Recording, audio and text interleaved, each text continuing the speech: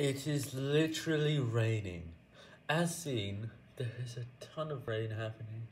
If you look closely, you can see the cars have to push through water.